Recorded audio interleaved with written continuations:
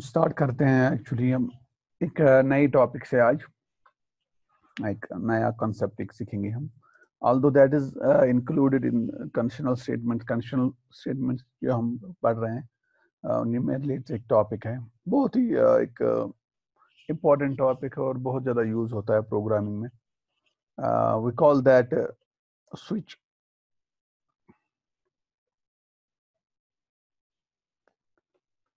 switch statement हम उसे बोलते हैं। तो ये स्विच स्टेटमेंट क्या होता है? आ, इस बारे में देखेंगे पहले।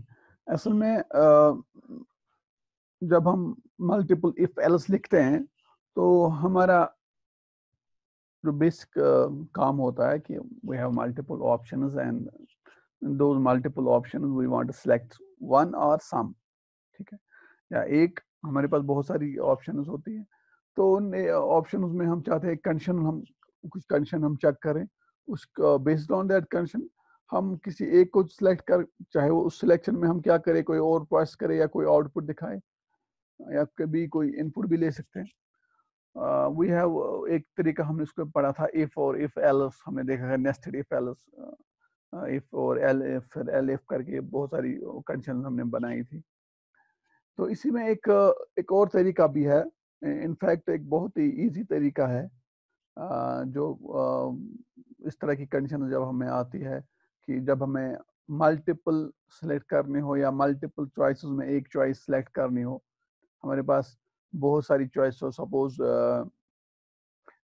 हमें एडमिशन करना होता है तो हम, हमारे पास बहुत सारी कॉलेजेस होते हैं।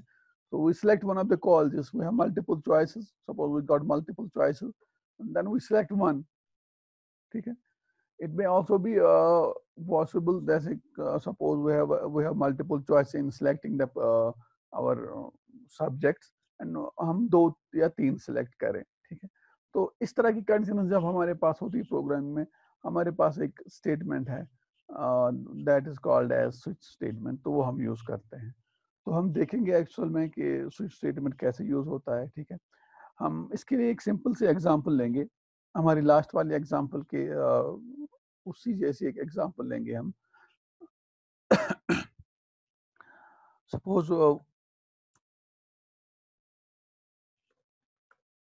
हमारे पास एक कैरेक्टर टाइप वेरिएबल है ग्रेड ठीक है? तो हम यूज़र से एक ग्रेड मांगेंगे।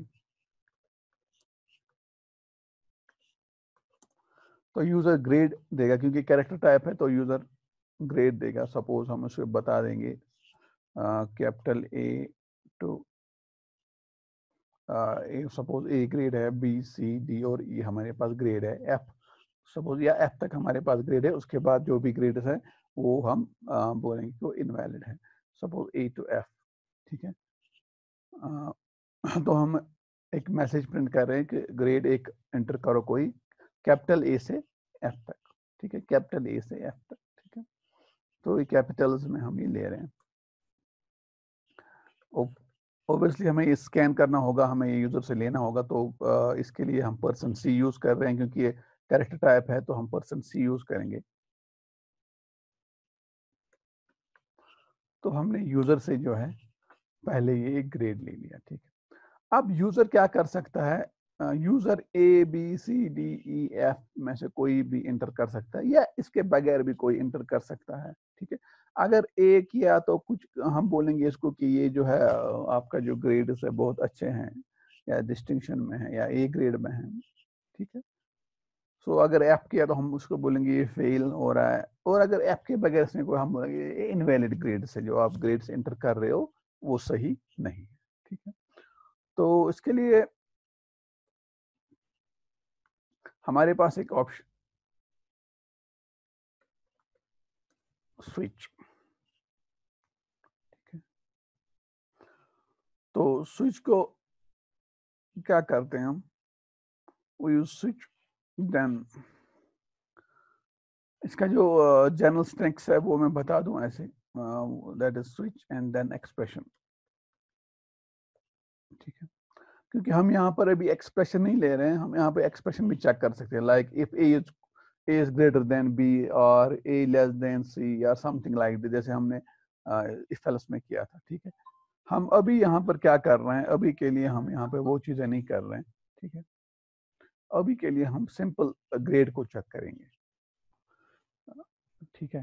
तो असल में हम यहाँ पे एक एक एक्सप्रेशन तो नहीं ले रहे हैं स्विच एक एक्सप्रेशन भी ले सकता है।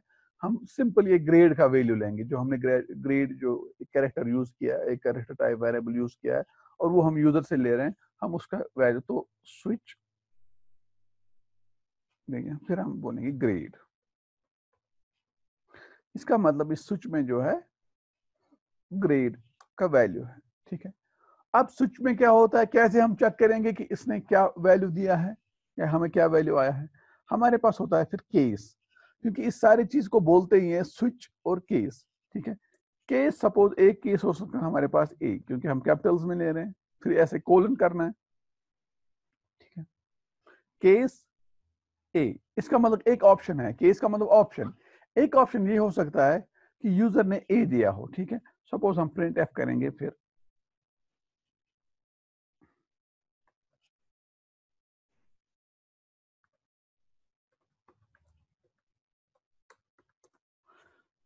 सपोज़ हम ये बोलेंगे इसको कि आपने क्या किया है?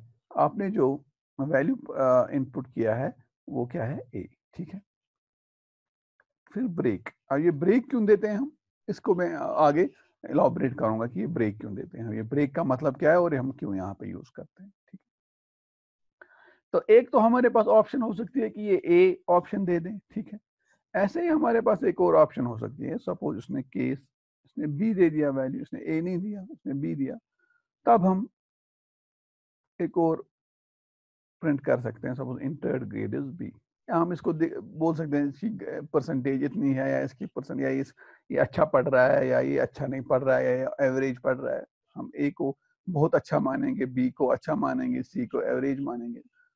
लाइक like दैट वो चीज़ें हम लिख सकते हैं। फ़िलहाल मैं यहाँ पे सिंपल मैसेज लिख रहा हूँ। या हमें, हम यहाँ पर और भी बहुत सारा काम कर सकते हैं। बहुत सारा कुछ काम। यहाँ पे थाउज़ेंड लाइंस ऑफ़ कोड भी हो सकती है, ठीक है? लेकिन मैं यहाँ पर बस को सिंपल कर रहा हूँ। एक और हमारे पास ऑप्शन है सी ठीक है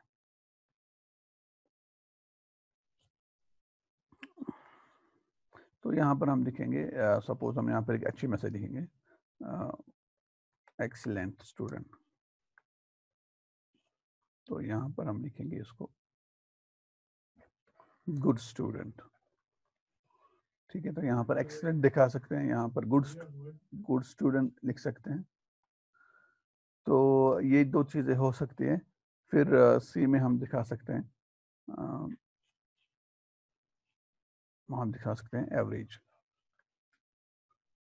एवरेज स्टूडेंट ठीक है? और ऐसे ही हम एक और केस बना सकते हैं। इसको फिर ब्रेक करेंगे। एक और केस हमारे पास होता है डी ठीक है? तो डी को सपोज़ हम बोलेंगे कि बिलो एवरेज है।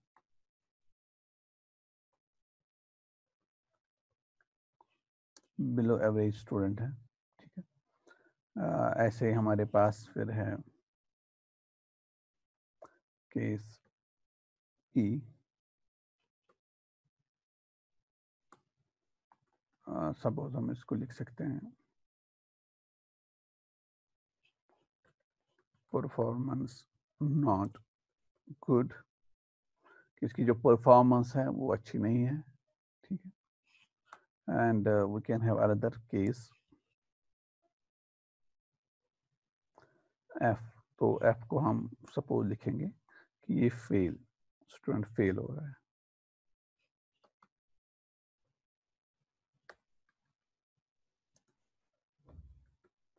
स्टूडेंट फेल हो रहा है, ठीक है। तो अब हमने ये सारी जो कंडीशन हमारे पास थे, हमने लिख ली। हमारे ए टू एफ़ तक हमारे पास सही ग्रेड्स हैं। तो ए के लिए हमने लिखा एक्सीलेंट स्टूडेंट बी के लिए हम लिखा गुड स्टूडेंट अब सी के लिए एवरेज डी के लिए बिलो एवरेज ई के लिए हम परफॉर्मेंस नॉट गुड एंड फिर एफ़ को हम बोल रहे हैं कि जो स्टूडेंट है, ये फेल हो रहा है। अब ऐसा भी हो सकता है, ऐसा भी हो सकता है कि जो हमारा यूज़र है A B C D F के बगैर हम ये कोई और भी वैल्यू दे, क्योंकि वो इनवैलिड है। तो हम इसको लिखते हैं डिफ़ॉल्ट में।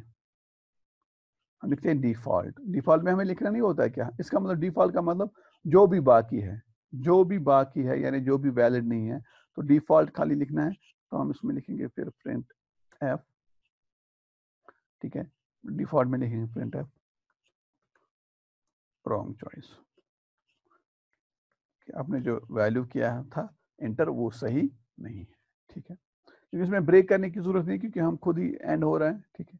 तो हम ये देखेंगे एक इसमें एक एग्जीक्यूट करके कि क्या हमारा जो आ, काम है वो ऐसे ही हो रहा है ठीक है?